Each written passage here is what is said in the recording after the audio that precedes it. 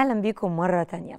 هيئة الأرصاد بتتوقع انه النهارده في ارتفاع طفيف في درجات الحرارة على شمال البلاد حتى شمال الصعيد. الطقس هيكون مائل للدفء نهارا على القاهرة الكبرى والوجه البحري والسواحل الشمالية وشمال الصعيد ومائل للحرارة على جنوب سيناء وجنوب الصعيد. بالليل الجو هيكون بارد على أغلب الأنحاء. في كمان شبورة مائية الصبح هتكون كثيفة أحيانا على بعض الطرق المؤدية من وإلى القاهرة الكبرى والوجه البحري والسواحل الشمالية ومدن القناة ووسط سيناء وشمال الصعيد. خلونا نتعرف مع بعض على تفاصيل أكتر عن الجو النهاردة من الدكتورة منار غانم عضو المركز الإعلامي بهيئة الأرصاد الجوية. صباح الخير دكتور منار. صباح الخير على حضرتك أستاذة هالة وصباح الخير على كل السادة المشاهدين. أهلا بك. أهلا بحضرتك. أخبار الطقس إيه النهارده؟ لأنه لسه في تقلبات. إحنا شايفين ارتفاع وانخفاض. كلمينا أكتر عن التقلبات الجوية اليومين دول. بالفعل يمكن إحنا بين اليوم والتاني بنشهد ارتفاع وانخفاض في درجات الحرارة. متوقع ابتداء من اليوم يكون في ارتفاعات طفيفة وتدريجية في درجات الحرارة على شمال البلاد حتى محافظات شمال الصعيد. يمكن إحنا خلال الأيام الماضية سجلنا درجات حرارة ما بين 21 و 22 درجة مئوية على القاهرة الكبرى لكن متوقع اليوم تكون 24 درجة مئوية خلال الأيام القادمة هتوصل ل 27 درجة مئوية. هي طبعا الارتفاعات دي مش هتكون زي اللي شهدناها بداية الأسبوع واللي هي تجاوزت ال 30 درجة مئوية. هي ارتفاعات طفيفة هنحس بالأجواء الشتوية المائلة للدفء خلال فترة النهار على القاهرة الكبرى الوجه البحري السواحل الشمالية للبلاد. أجواء مائلة للحرارة على جنوب سيناء وجنوب البلاد ده بيكون خلال فترات أشعة الشمس خاصة إن إحنا تدريجيا مع تقدم الأيام هنبدأ نتأثر بمصادر كتل قادمة من صحراء شبه الجزيرة العربية هتؤدي لارتفاعات درجات الحرارة لكن هي ارتفاعات طفيفة. خلال فترات الليل مع غياب أشعة الشمس وخاصة ساعات الليل المتأخر فترة الصباح الباكر درجات الحرارة بتنخفض بشكل كبير وبشكل ملحوظ وبيكون فرق بين فترة النهار وفترة الليل في القاهرة الكبرى بيتجاوز العشر درجات محافظات شمال الصعيد بيتجاوز ال 15 درجة مئوية وهتظل فترة فترة الليل ما بين الباردة إلى شديدة البرودة على أغلب محافظات الجمهورية. بالإضافة كمان الظاهرة الجوية الموجودة معنا اليوم وغدا هو تكون شبورة مائية على أغلب الطرق الزراعية والسريعة والقريبة من المسطحات المائية وبتؤدي لإنخفاض في الرؤية الأفقية فترة الصباح الباكر خاصة الطرق المؤدية من وإلى السواحل الشمالية ومحافظات الوجه البحري ومدن القناة. متوقع إن شاء الله إن إحنا نستمر في ارتفاع درجات الحرارة ده إلى يوم الأحد والاثنين القادمين. وزي ما بنقول دايما إن الفترة دي فترة تقلبات جوية حادة وسريعة بين ارتفاع وانخفاض في درجات الحرارة. متوقع إن يكون في فرص لسقوط الأمطار خلال الأيام القادمة ويمكن هتكون معانا يوم السبت لكن اعتبارا من مساء يوم الاثنين اللي جاي. خلينا ننوه مع حضراتكم على الحالة دي لأن إحنا بدأنا في نشراتنا ننوه عن حالة من عدم الاستقرار في الأحوال الجوية. هتبدأ مساء يوم الاثنين. حالة عدم الاستقرار في الأحوال الجوية دي هتكون بسبب تعمق منخفض جوي موجود في طبقات الجو العليا منخفض على سطح البحر المتوسط. هتعود تاني فرص الأمطار اللي هتكون متفاوتة الشدة على محافظات شمال البلاد حتى القاهرة الكبرى وشمال الصعيد سيناء محافظة البحر الأحمر. هيكون في انخفاض ملحوظ في درجات الحرارة. هيكون في نشاط للرياح هيزود إحساسنا بانخفاض درجات الحرارة وبرودة الطقس. هنرجع تاني للأجواء الشتوية الممطرة خلال الأيام القادمة وتحديدا من يوم الاثنين اللي جاي. فعشان كده بنقول الفترة دي تقلباتها الجوية سريعة جدا.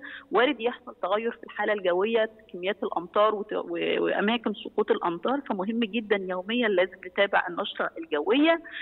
ناخد بالنا من فرق درجات الحرارة بين فترة النهار وفترة الليل.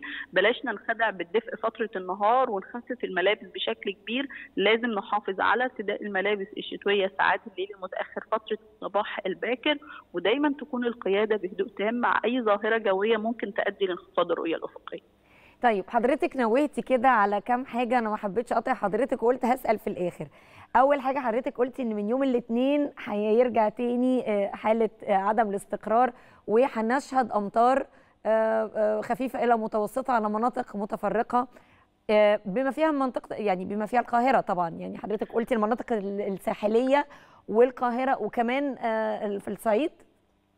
بالفعل هي الحالة الجوية هتبدأ مساء يوم الاثنين وهتبدأ. على السواحل الغربية وشمال الوجه البحري مع تقدم الوقت ودخول أول ساعات يوم الثلاث هتبدأ الأمطار تتقدم للمناطق الداخلية اللي هي جنوب الوجه البحري القاهرة الكبرى من يوم الثلاث. هتمطر من يوم الثلاث. بالظبط هيكون يوم الثلاث بإذن الله وهتكون على شمال الصعيد وسيناء أيضا فهتاخد شمال البلاد حتى شمال الصعيد وهيكون معاها نشاط للرياح وهيكون في كمان انخفاض في درجات الحرارة يوم الثلاث ملحوظ توصل العظمى على القاهرة الكبرى 21 20 درجة مئوية فترة النهار. وده يستمر لإمتى بقى يا دكتور منار؟ هو متوقع معانا إلى الآن لسه الخرائط والتوزيعات الضغطية ما تبتدش بشكل كبير فهتكون معانا كمان يوم الأربعاء لكن بصورة أقل. يمكن إن شاء الله متوقع إلى الآن. لو الخرائط ما غيرتش هتكون ذروتها الثلاث ومع أوه. يوم الأربعاء يحصل تحسن نسبة الأحوال الجوية. ونعود تاني للأجواء المستقرة إن شاء الله والدرجات الحرارة اللي تبقى حول المعدلات وفرص الأمطار تقل بإذن الله. طيب حضرتك برضو نوهتي إن هيكون في مناطق يعني إن في شبورة حاليا موجودة في بعض المناطق اللي هي المناطق الزراعية والمسطحات المائية، ممكن حضرتك تحددي لنا بالظبط المناطق اللي فيها شبورة دلوقتي؟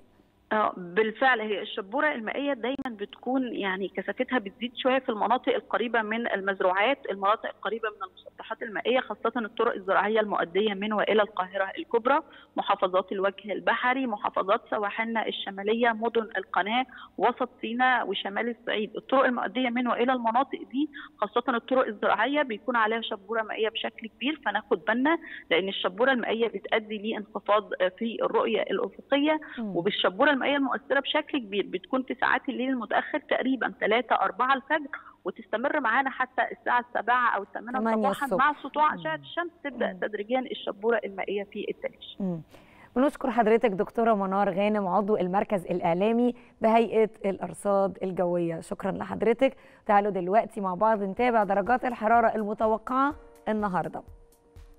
في القاهرة درجة الحرارة العظمى 24 والصغرى 14 في العاصمة الإدارية درجة الحرارة العظمى 24 والصغرى 13 في الإسكندرية درجة الحرارة العظمى 23 والصغرى 12 وفي العلمين الجديدة العظمى 22 والصغرى 12 في مطروح درجة الحرارة العظمى 20 والصغرى 11 وفي دمياط العظمى 21 والصغرى 13 أما في بورسعيد فالعظمى 22 والصغرى 14 وفي الإسماعيلية العظمى 24 والصغرى 14 نروح للسويس هنلاقي إن درجة الحرارة العظمى في السويس النهارده 23 والصغرى 14 أما في العريش فدرجة الحرارة العظمى 22 والصغرى 13 في سانت كاترين درجة الحرارة العظمى 20 والصغرى 6 وفي طابة العظمى 25 والصغرى 15 في حلايب العظمى 28 والصغرى 15 وفي شلاتين آه درجة الحرارة العظمى 31 حر جدا في شلاتين والصغرى هتكون 14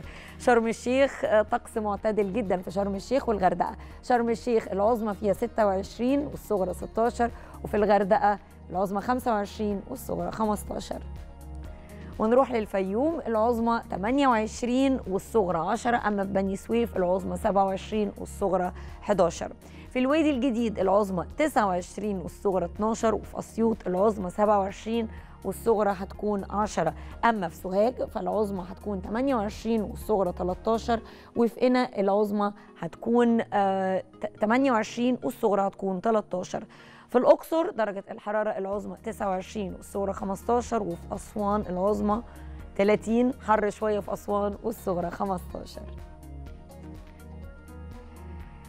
ودلوقتي هنرجع تاني لاستكمال باقي فقرات برنامج صباح الخير يا مصر مع مصطفى ومع بسنت.